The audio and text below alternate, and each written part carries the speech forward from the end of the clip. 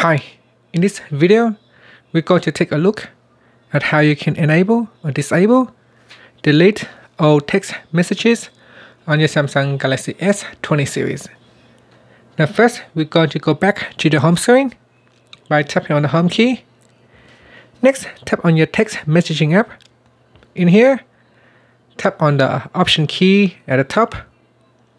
From the pop-up, tap on settings in settings, tap on more settings and then go down and tap on delete all messages switch to turn it on or turn it off. And that's it. Finally, you can tap on the back key to go back to your messages screen or tap on the home key to go back to your home screen. And that's it. Thank you for watching this video. Please subscribe to my channel for more videos.